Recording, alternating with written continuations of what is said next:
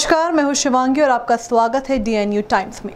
चलिए रुक करते हैं मुख्य खबरों की ओर। प्रशासनिक अधिकारियों के घुटने टेकने, यानी कि घुटने के बल बैठने को लेकर इंदौर शहर में राजनीति गर्मा गई है। भाजपा महासचिव के बयान के बाद आज कांग्रेस नेता व परशुराम सेना के लोगों द्वारा सीएम शिवराज सिंह चौहान के लिए सद्बुद्धि यज्ञ किया गया। इंदौर शहर में एक तरफ़ लोग कोरोना महामारी से जूझ रहे हैं तो वहीं दूसरी ओर राजनीति भी चरम सीमा पर हो रही है, जहाँ नेताओं की बयानबाजी और विभिन्न सदस्य एक दूसरे पर निशाना साध रहे हैं। इसी क्रम में आज मरी माता चौराहा स्थित श्री परशुराम की भव्य प्रतिमा के तले श्री परशुराम सेना के लोगों द्वारा सीएम शिवराज सिंह चौहान व पूर्व विधायक सुदर्शन गुप्ता की सद्बुद्धि के लिए यज्ञ किया।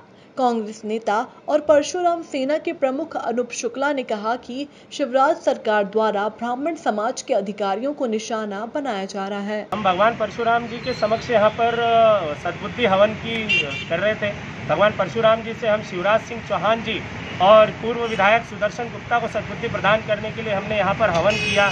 और हमारा उद्देश्य यह है कि विगत दो दिन पूर्व ही तीन तीन जनप्रतिनिधियों के साथ में तीन जनप्रतिनिधियों के साथ में जब दो अधिकारी राकेश शर्मा जी और डी के तिवारी साहब बात करने के लिए गए तो माँ अहिल्या की प्रतिमा के नीचे वो लोग बैठे हुए थे। वो बैठे हुए थे तो वो दोनों अधिकारी भी बैठ गए। पर लोगों ने और राजनीति ने उसमें ऐसा कह दिया कि वो लोगों ने तीनों विधायकों के सामने जाके घुटने के बल बैठे, जबकि ऐसा उद्देश्य नहीं है। इसके पूर्व भी सीहोर कलेक्टर एस के मिश्रा जी सीहोर में शिवराज सिंह चौहान के सामने घुटनों के बल बैठ चुके हैं। तो उस समय तो उन्होंने कोई कार्रवाई नहीं करी, आज यह कार्रवाई करी है। यह निसंदेह बहुत ही निंदनीय है। ब्राह्मणों के साथ जो शिवराज सिंह चौहान का कृत रहा है, जो कार्य करने का वो रहा है, जब चुनाव आते हैं, तब ब्राह्मणों का हमको वहाँ पे श्यामला हित बुलाया जाता है उनके माध्यम से कि हम ब्राह्मणों का सम्मान करते हैं, आप लोग हमारा वो करिए।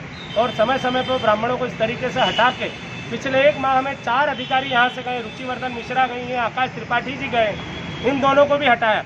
हटाना उनके लिए अच्छा है, जिसको फेरबदल करना उनको अपनी सत्ता के अनुसार करें। किंतु कल जो कारण बताया गया कि कांग्रेस के जनप्रतिनिधियों के सामने उन्होंने घुटने टेके ऐसे कतई उद्देश्य नहीं था। सिर्फ़ डेढ़ माह बच्चे हमारे आदरणीय श्री डी के तिवारी साहब के।